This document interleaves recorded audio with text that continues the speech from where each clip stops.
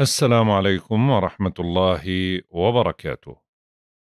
اليوم حلقتنا من الأخبار الفلكية عن انتقال كوكب عطارد اللي راح ينتقل من برج الحمل لبرج الثور يوم الأربعاء 15 أيار مايو. طبعا انتقال كوكب عطارد من برج الحمل لبرج الثور راح يكون الساعة خمسة وأربع دقائق بعد العصر بتوقيت غرينتش من عصر يوم الأربعاء وراح يضل موجود في برج الثور لغاية يوم الاثنين ثلاثة ستة الساعة سبعة وستة وثلاثين دقيقة صباحا بتوقيت غرينتش. كوكب عطارد اللي معروف عنه إنه هو كوكب المسؤول عن التفكير أو قدرتنا على التفكير ونقل أفكارنا للغير وتقوية الذاكرة والتحكم في الاتصالات والمواصلات.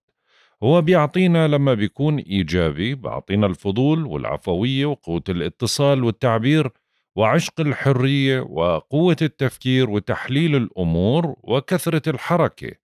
ولكن من سلبياته لما بيكون منتحس زي ما بنحكي في التوقعات اليومية بيعطينا العصبية وبعطينا برضو شوي إنه ما بنقدر نوصل أفكارنا بشكل جيد.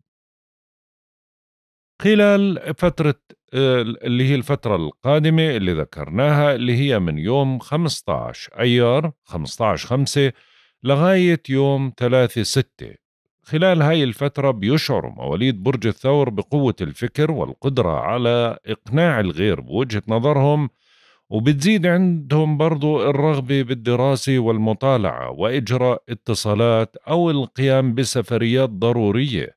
بيستفيد معهم برضو مواليد الأبراج الترابية والأبراج المائية يعني عنا العذراء والجدي السرطان العقرب الحوت وكمان كل شخص لما انولد كان عطارد موجود عنده في برج الثور. طبعا الأشخاص اللي بينولدوا بيكون العطارد عندهم في برج الثور هذولا دائما أفكارهم بتنصب حول الجانب العملي في الموضوع أو في المواضيع اللي بتشغلهم آه، بيتوصلوا لقرار ببطء بعد دراسة وتقييم لكل خطوة من خطواتهم. وطبعا هدول جماعة عنيدين جدا وبيتمسكوا بآرائهم وأفكارهم بغض النظر إذا كانوا يعني كان الموضوع صائب أو ما كان صائب عادي بضل ماسك برأيه يعني صعب جدا يغير أفكاره. عشان نحدد إنه هو رح يكون سعيد أو منتحس فترة وجوده في برج الثور لازم إن ننتبه للزوايا اللي رح يشكلها. يعني ما بنعتمد على إنه هو موجود بشرفه بوباله ببيته بمش عارف إيش. هذا كلياته ماشي بيعطيه إيجابية أو بيعطيه سلبية ولكن الزوايا اللي رح يشكلها هي أغلب أو أكبر المتحكمين في صعودة ونحوسه الكوكب آه، في أثناء وجوده في أي برج. عشان نشوف أول زاوية أول زاوية رح تكون عنا يوم 17 خمسة زاوية تربيع سلبية رح تكون بين عطارد وبين بلوتو. طبعا هاي الزاوية تأثيراتها بت... يعني بنقدر نحكي إنه خمس أيام قبل وخمس أيام بعد تأثيرات هذا تبع بعد تاريخ 17 الشهر أو قبل تاريخ 17 الشهر. هاي الزاوية بتدفعنا للكآبة والهم والشعور بالذنب بتزيد من عنادتنا بتسبب لنا نزاعات شديدة مع محيطنا ما بعض الأشخاص اللي بيشتكوا من مشاكل بالقلب بدهم يديروا بالهم لأنه القلب بيكون نقطة ضعف من أزمات قلبية أسبابها العصبية أو حوادث أيضا بتيجي عن طريق النيران.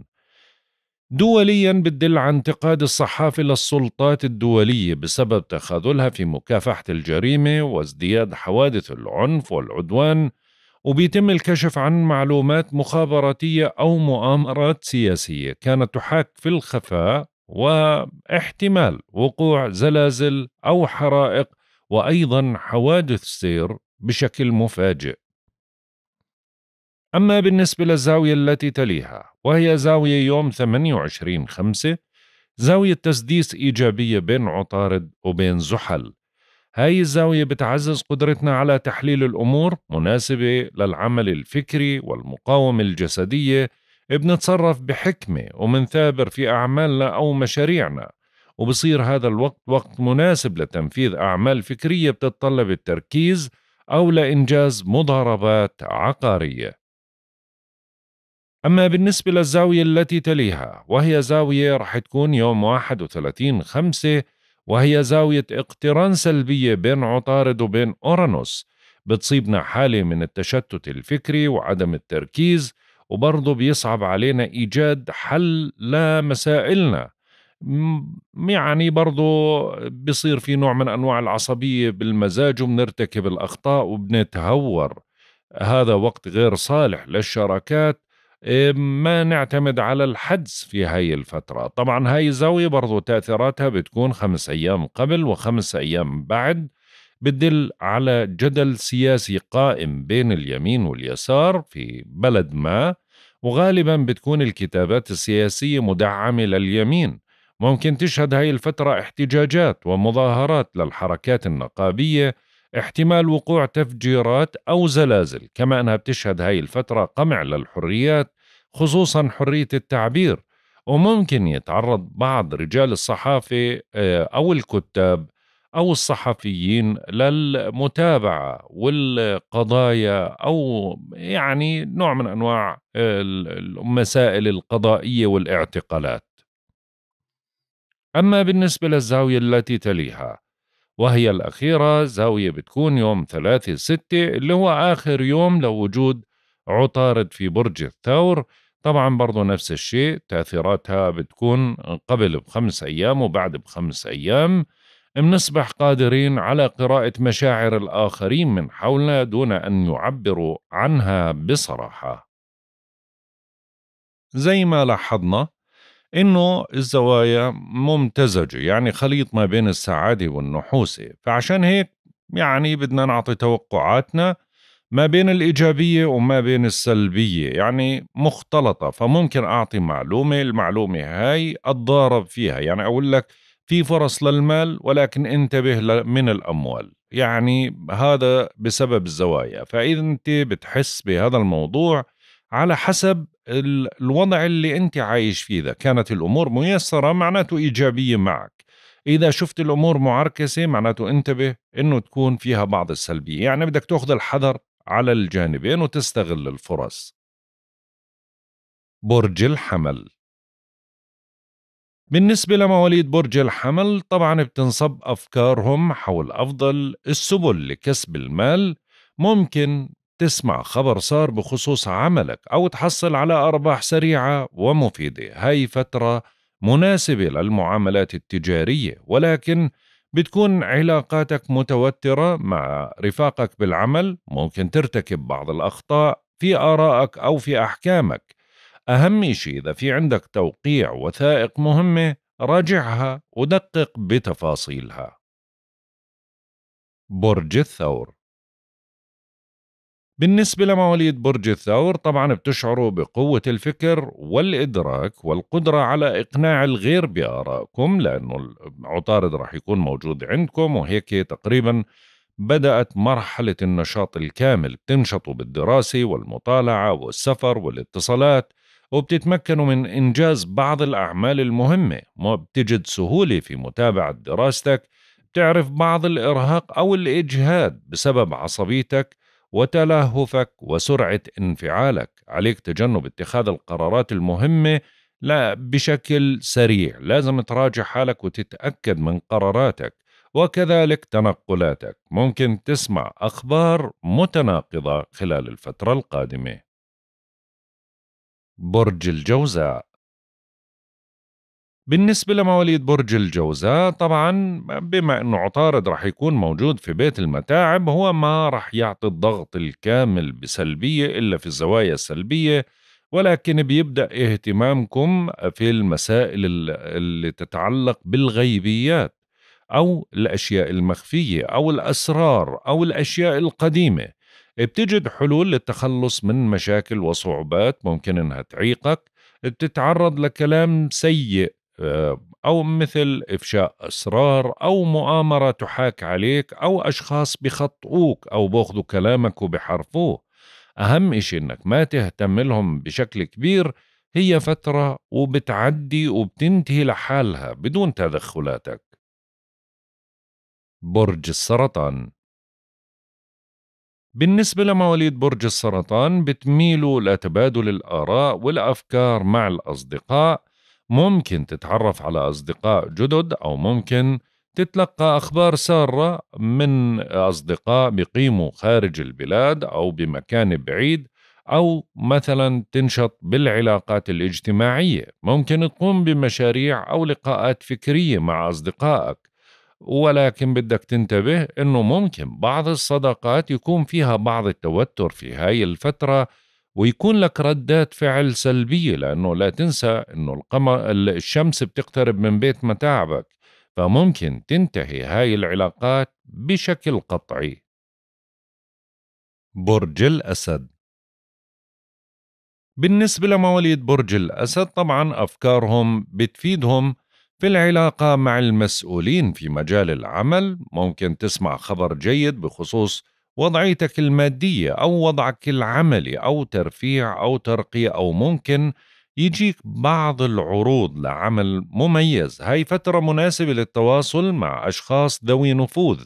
بتميل آه، بهاي الفترة في بعض الأوقات وخصوصا لما بيكون عطارد منتحس لإهمال مشاريعك وممكن تتعرض سمعتك الاجتماعية لبعض الشبهة أو بعض الاتهامات.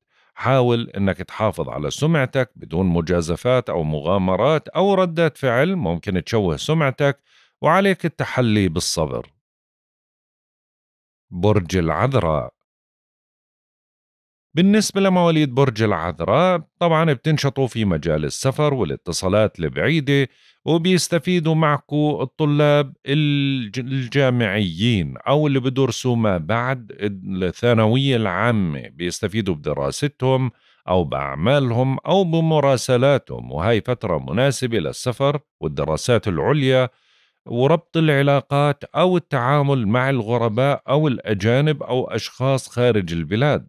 ولكن عليك الحذر من الوعود لأنه قلما شخص يوعدك بشيء ويوفي فيه بهاي الفترة يستحسن تجنب بعض السفر اللي بيجي بشكل مفاجئ أو تنقلاتك على الشوارع المفتوحة. بدك تكون حذر أثناء تنقلاتك وأيضا تفقد أمتعتك وحجوزاتك.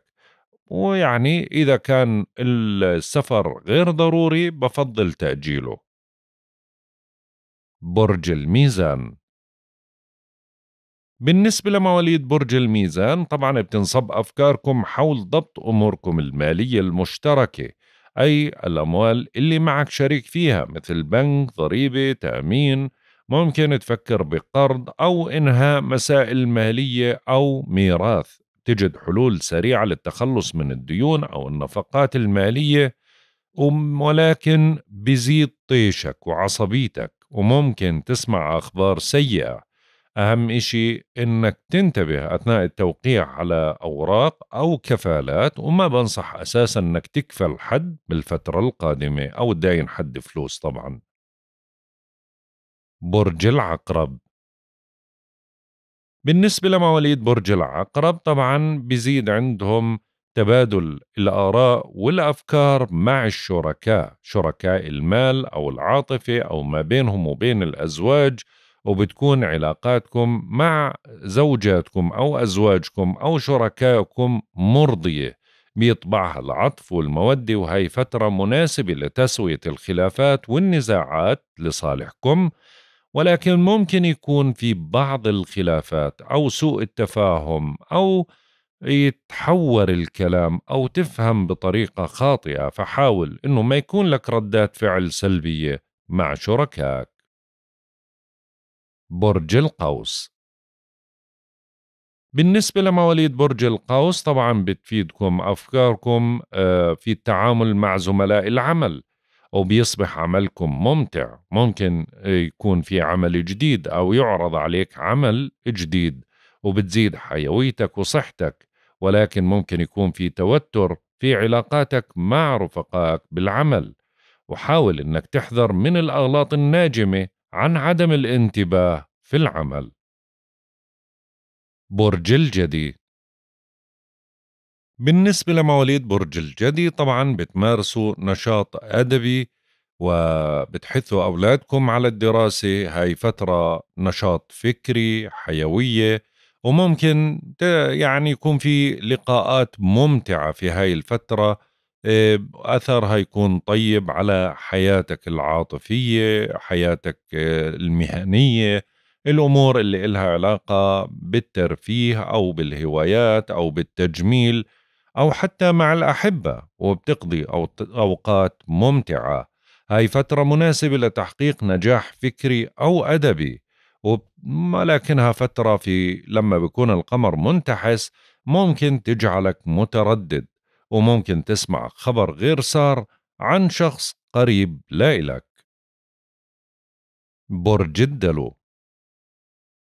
بالنسبة لمواليد برج الدلو طبعا بتنصب أفكاركم حول المسائل اللي تتعلق بالعقارات عقارات إلها علاقة ببيتك أو تصليحات أو شراء بيت أو استئجار بيت أو بيع عقار ما وأيضا المسائل العائلية. ممكن تسمع خبر مفرح بخصوص عائلتك أو مثلا يكون في مناسبة أو تنتظر خبر يتعلق بميلاد أو طفل جديد أو فرحة أو خطوبة تتعلق فيك أنت أو في أحد أفراد العائلة. هاي فترة مناسبة لتغيير محل الإقامة أو القيام بمشاريع تتعلق بالمنزل. أيضا الأشخاص اللي بيكونوا خارج البلاد ممكن يرجعوا لأرض الوطن وبيعرف محيطك العائلي في بعض الأوقات توتر بسبب سوء تفاهم وممكن تتعرض للإرهاق العصبي. برج الحوت بالنسبة لمواليد برج الحوت بيستفيد الطلاب الابتدائي والثانوي في الدراسة والمطالعة وممارسة الهواية. وبعض مواليد برج الحوت ممكن إنهم يشتروا سيارة أو أجهزة إلكترونية جديدة كمبيوتر تلفزيون هاتف. وهي فترة مهمة للقيام بالأسفار والدراسة والعمل والمشاركة في لقاءات أو ندوات فكرية. وممكن تسمع خبر في بعض الأوقات وخصوصا عند انتحاسة عطارد يعني خبر سيء بيجعلك متردد أو متحير أو بدفعك لاتخاذ قرارات متسرعة أو إفشاء بعض الأسرار. فبدك تكون حذر في كلامك ومراسلاتك أيضا. هيك منكون انتهينا من أخبارنا الفلكية. والله أعلم. يا رضا الله ورضا الوالدين. سبحانك اللهم وبحمدك أشهد أن لا إله إلا أنت أستغفرك وأتوب إليك. أترككم في رعاية الله وحفظه. إلى اللقاء.